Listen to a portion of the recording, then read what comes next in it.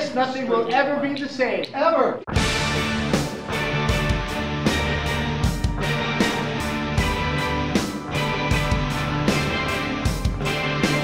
Hey, I'm Tracy Thornton, and I'm the founder and creator of Pan Rocks. It was a real pleasure to meet Tracy. We were introduced through a mutual friend, Mark Schulman.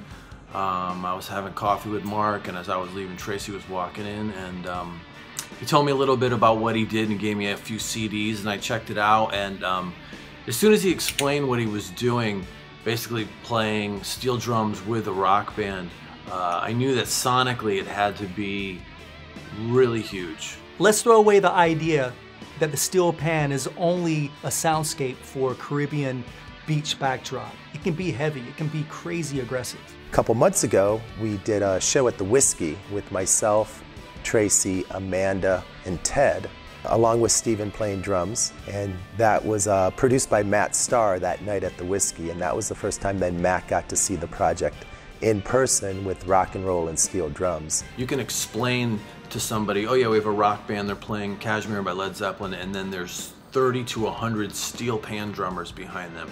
But it's really hard to imagine that until you hear that. And often what happens is I've played these recordings for people and they say, oh, that's great. Yeah, uh, where are the drums? Because they're thinking it's going to be, you know, and it's and the reality is I'm like, no, all that stuff that sounds like a symphony, that's the steel drums. The idea of Pan Rocks Project LA was to get out there, get into a major studio, get some major musicians, and to create the audio that I've been hearing in my head all of these years. So now we don't have to explain to the listener what we're trying to accomplish.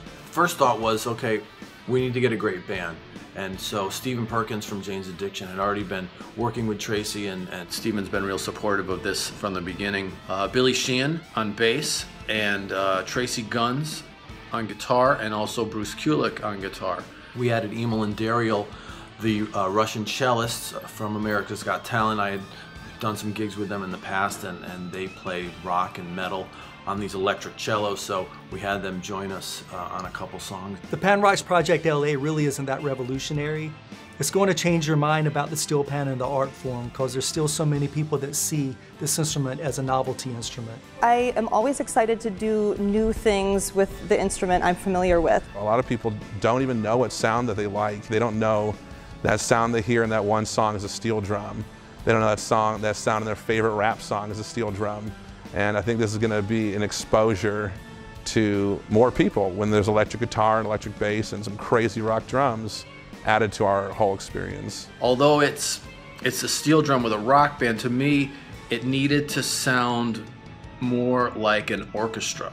That's one of the reasons we included Kashmir on this project. Kashmir already has an orchestral feel, but when you put the steel pans behind it, it gives it more power and even makes that song even more epic.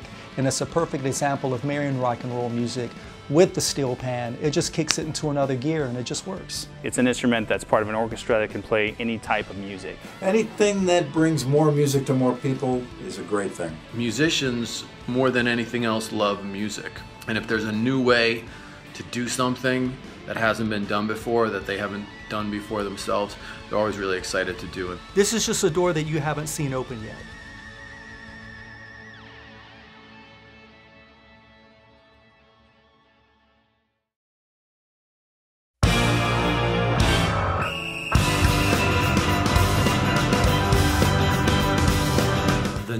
Of people that he has, it's, I've never seen anything like it.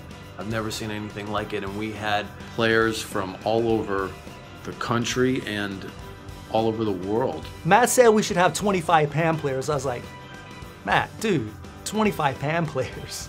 I've been doing this 20, 25 years, man.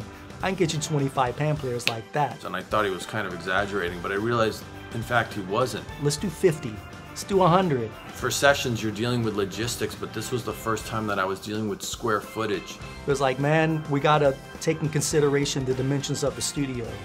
So I was like, all right, man, we'll, we'll do 25, including me 26. I met Tracy about six months ago at PASIC, and uh, he started talking about the Pan Rocks project, told me all about it.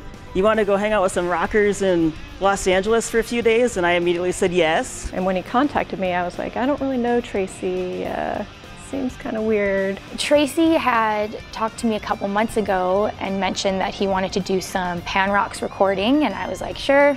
Any excuse I can to go on a trip would be awesome. Just, just get me there. Let's do this now. People flying in, driving in, taking off of work, postponing other commitments so that they could be in LA with Tracy, with us, to take part in this recording session. My name is Glenn Rousey. I play a set of four pan, the quadraphonic, that I drove from Morgantown, West Virginia to LA.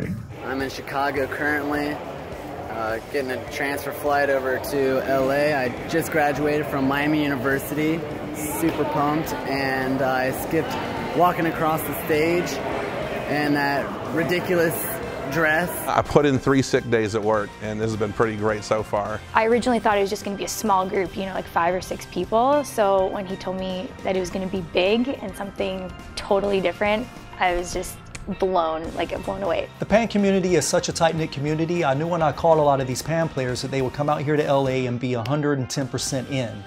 And most of these pan players in the room have done Pan Rocks events with me in the past, so they knew the vibe of the whole project, and I really wanted that spirit to be in the room.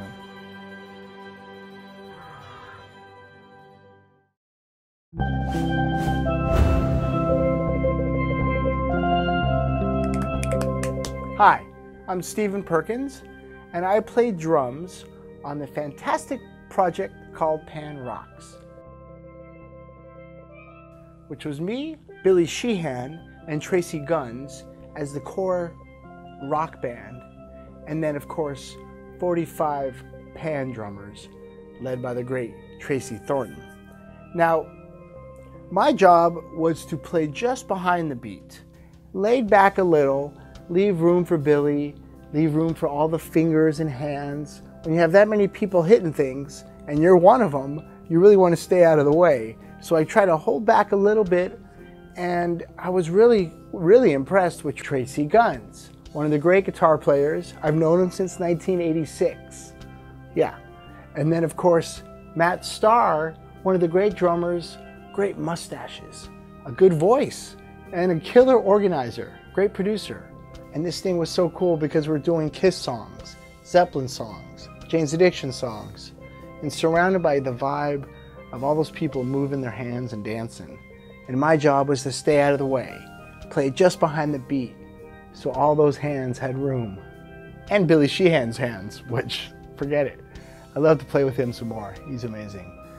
So that was my experience. It was big, it was loud, and I'm very proud. Stephen Perkins signing off for Pan Rocks.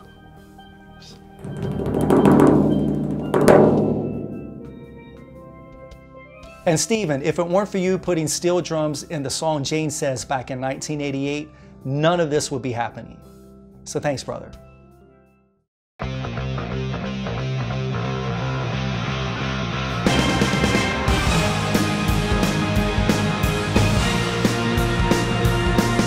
I was requested by Pan Rocks to be a part of their project. You know, steel drums, doing rock and roll, and I have to admit, I think it's really cool. First of all, I was thinking like, where's a room big enough to have a band and you know all these pan players and then record it and all this stuff. So I was really confused before I came. I was a little worried about the rock star guys coming to the room, not because they weren't going to play their parts right. I knew they were going to kill it. I just wanted everyone in the room to be as excited as I was and the pan players were to be there. I wanted to get guys that would really appreciate what this was and not just be coming in and, and recording and, and doing what they do, which is exceptional, but guys that would really get it. Meeting all of them is pretty much a dream come true. To be part of this and have them on this project is not really real, but it's real. The most exciting part about being involved with those musicians here, to me, is the fact that they haven't done this before.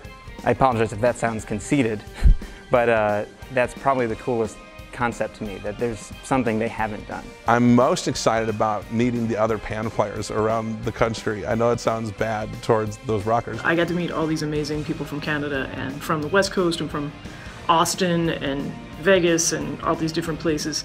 I ended up really loving Tracii Guns. We were jaded before we came here and did this. It was really cool to work with all the different artists on this. Everybody traveled from all around the world. Forget all the cliche and the stereotype of the rock and roll star. They were professionals, they were musicians, musicians, and their professionalism rubbed off on every one of us in the room.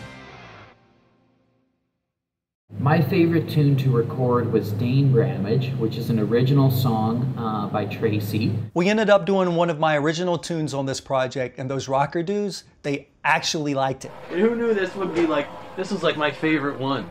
The the uh, Jane's Addiction one? The, well, no, the original. Oh, the original. I know. You know what I mean? Uh, one unique uh, uh, original song that was pretty wild.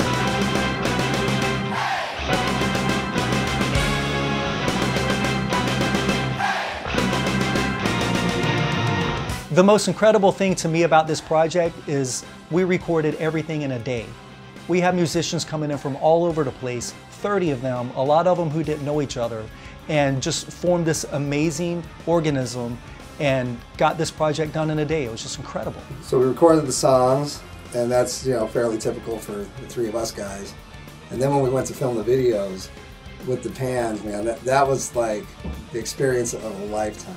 It's just really cool to see a group of people that all have a passion for what they do and collectively bring that energy and that spirit together. And everybody was really blown away with it. All the players, as well as anyone that I've shown this to, everyone's really excited about it because there's nothing like this. I've been working with Tracy Thornton over the past several years and building Pan Rocks to what it is today. And for this session to finally go down was a huge step forward. It's, it's an incredible opportunity to really showcase to the world what the instrument's capable of. To hear it back is just, it's just mind-blowing, you know, the way that the steel drums blend in with the guitar and the bass.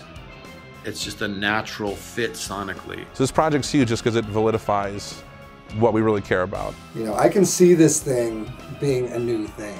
You know, and I know that Tracy's been working on this for like 20 years.